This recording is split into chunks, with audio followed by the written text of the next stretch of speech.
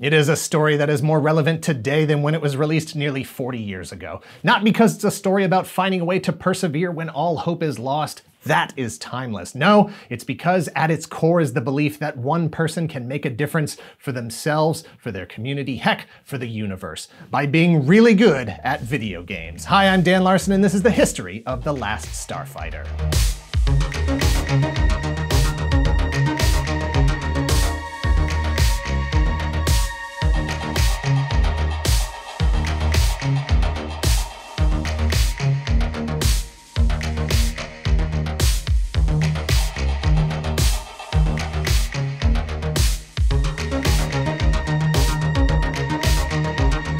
Thank you to KiwiCo for sponsoring this video. Go to kiwico.com slash toygalaxy to get 50% off your first month of any crate right now. KiwiCo is defining the future of play by making it engaging, enriching, and seriously fun. They create super cool hands-on projects and toys designed to expose kids to concepts in STEAM. That's science, technology, engineering, art, and math. Each monthly crate is designed by experts and tested by kids and teaches a new theme through hands-on learning and fun. KiwiCo now offers nine subscription lines, each catering to different age groups and topics. A unique gift idea for kids and adults. Each box comes with all the supplies needed for that month's project, so no extra runs to the store, detailed, easy to follow instructions, and an educational magazine filled with content to learn even more about the crate's theme. KiwiCo believes that by learning the skills to problem solve, innovate, and create, kids can truly change the world of tomorrow. The projects provide hours of entertainment and something to show for your investment and time and the investment in your child or yourself. KiwiCo now ships to more than 40 countries.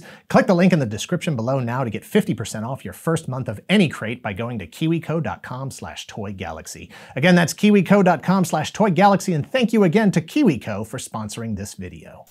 The Last Starfighter is a 1984 feature film directed by Nick Castle, written by Jonathan Betuel, starring Lance Guest, Robert Preston, Dan O'Herlihy, and Catherine Mary Stewart. It asks the question, what if Star Wars was neither a long time ago nor far, far away? Trapped in a life he didn't ask for, Alex Rogan dreams of being anywhere else so he can be someone. Someone who did something with their life. Someone who made a difference. Because life at the Starlight Starbright trailer park is as dead end as it can be. Alex and his younger brother Lewis live with their mother who does what she has to to keep food on the table, pulling double duty as the manager of the trailer park and waiting tables at the diner in town. Recently graduated from high school, with his schedule wide open, Alex inherits the maintenance responsibilities of the trailer park. While his friends go have fun, he has to spend all day plunging people's toilets and patching Miss Elvira's electric connection so she can watch her soap operas. But he's got plans, you'll see, while his girlfriend Maggie and the other grads spend their time hanging out at the drive-in and settle for City College in the fall, he's applied for a bank loan to go to university, a bigger school far, far away from this nowhere tumbleweed town. In the meantime, his only escape is an arcade game called Starfighter, a space war POV shooter stand-up arcade unit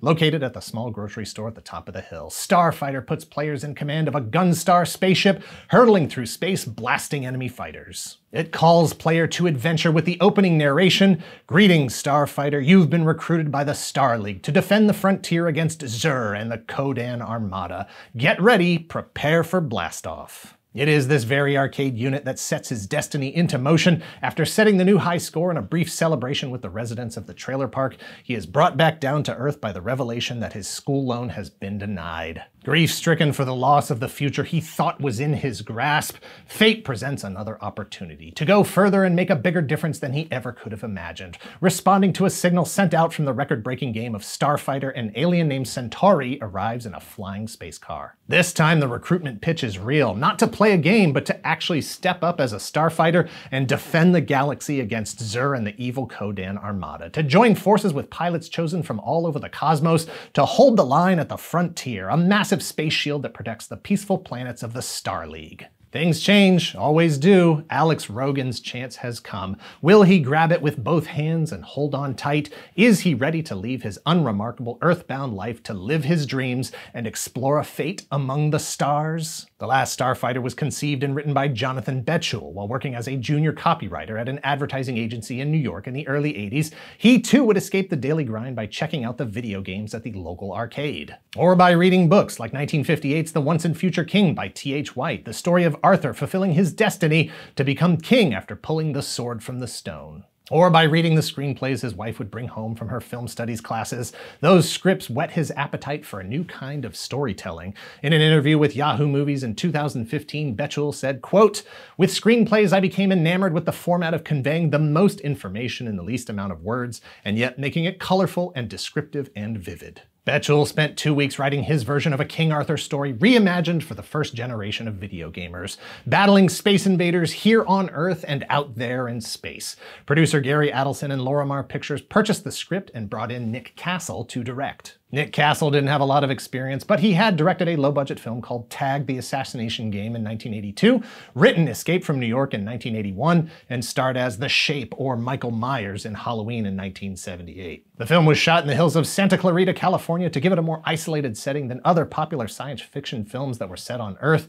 E.T., Close Encounters of the Third Kind, movies that took place in the suburbs. Steven Spielberg had established a blueprint for grounding these otherwise fantastic stories. Castle and company wanted to avoid those comparisons. But, you know, a kid living in isolation, fantasizing about escaping the responsibilities of his day to day existence, postponing his dreams while maintaining the family business, being called by destiny to fight in a star war, also sounds familiar. Ultimately, all Castle and Company could do was focus on telling their own story their own way, knowing that comparisons were not only unavoidable, but inevitable in this genre. Where The Last Starfighter could establish its own identity was in their depiction of space battles.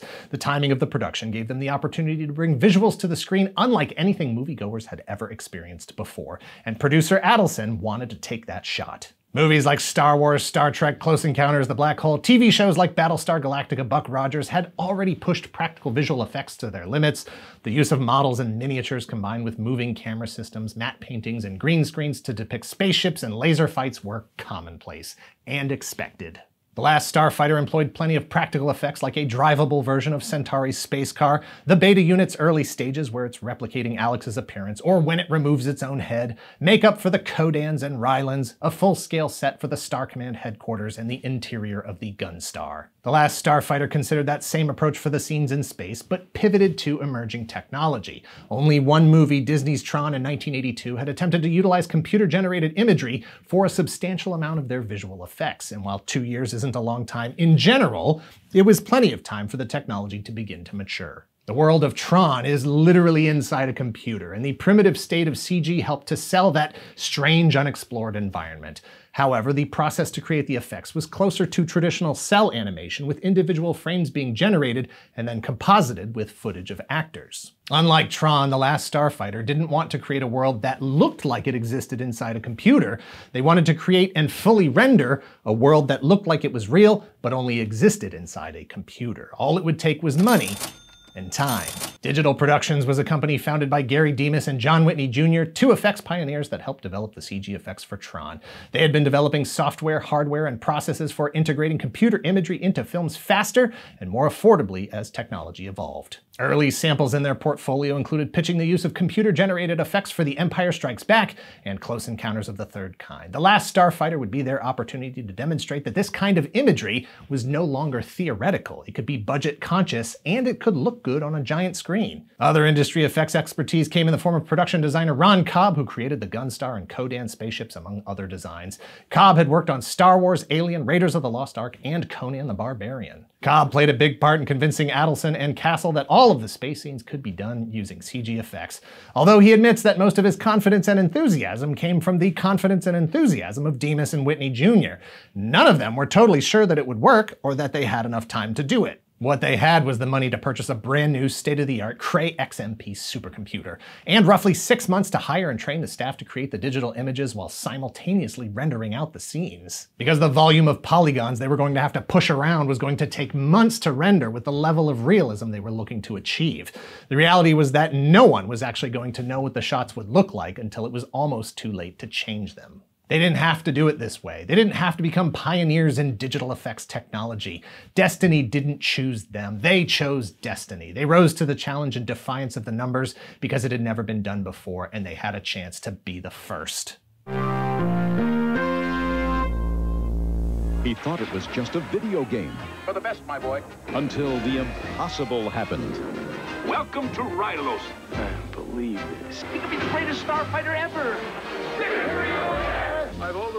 Fight a desperate battle against incredible odds. It'll be a slaughter. Robert Preston, Lance Guest, Here we go. the science fiction action thriller, The Last Starfighter. The cast was anchored by newcomer Lance Guest. At 23 years old, he was still relatively believable as a somewhat recent high school grad. More importantly, he had a unique charm, as if Christopher Reeve and Paul Rudd had a baby. For The Last Starfighter, he pulled off dual roles as Alex and a beta unit, essentially a robotic clone of himself.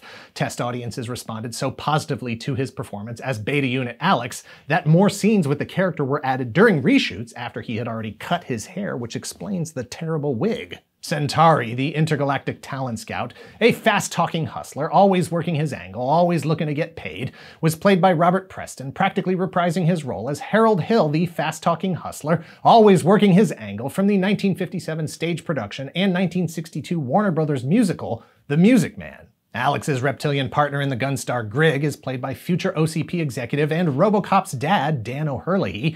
Alex's girlfriend Maggie is played by Catherine Mary Stewart.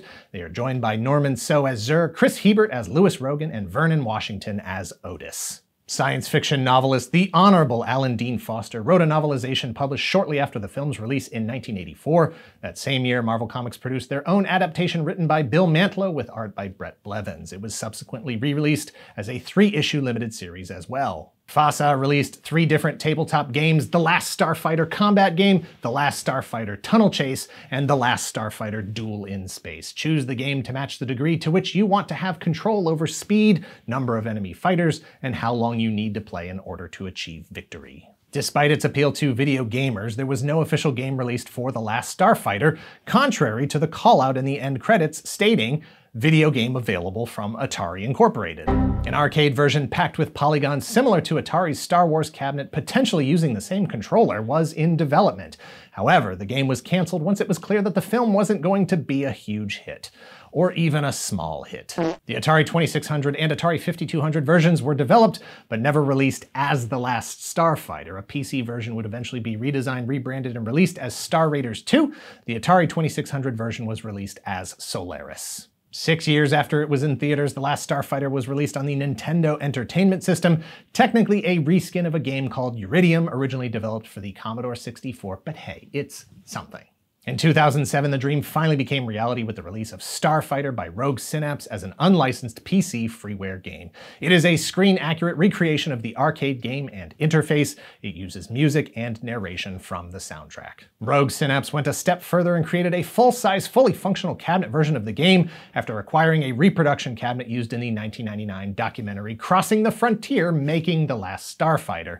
The cabinet used on the set of the original film had long since been destroyed. Unlike Star Wars, The Last Starfighter never got toys to market. Galoob had developed some very early, very rough prototypes that were essentially just custom pieces made from other existing action figures, enough to show intent. They even designed packaging that would have sold the figures in pairs, but like the video games, the disappointing performance of the film prompted Galoob to cancel the figures before even getting to final sculpts. The Last Starfighter was a box office disappointment. 1984 was jam packed with hits like The Karate Kid, Indiana Jones and the Temple of Doom, Gremlins, Ghostbusters, Footloose, Beverly Hills Cop, Romancing the Stone, Splash, Purple Rain, Terminator, Breakin'. The Last Starfighter came in at number 26 for the year, just behind Silkwood, just ahead of Places in the Heart. Roger Ebert said, quote, The Last Starfighter is not a terrifically original movie. The video game concept seems inspired by Walt Disney's Tron and the battles in space are such close copies of the Star Wars movies that George Lucas might have a lawsuit. The Last Starfighter is a well made movie, the special effects are competent, the acting is good, but the final spark was missing, the final burst of inspiration that might have pulled all these concepts and inspirations and retreads together into a good movie. The Last Starfighter was only in theaters for a month, bringing in around $21 million against a budget of 14 million. Hardly the kind of return they were hoping for. Certainly not enough to greenlight the potential trilogy of films that creator Betuel had originally imagined. But the story doesn't end there. Time would give The Last Starfighter another opportunity to cultivate a fan base.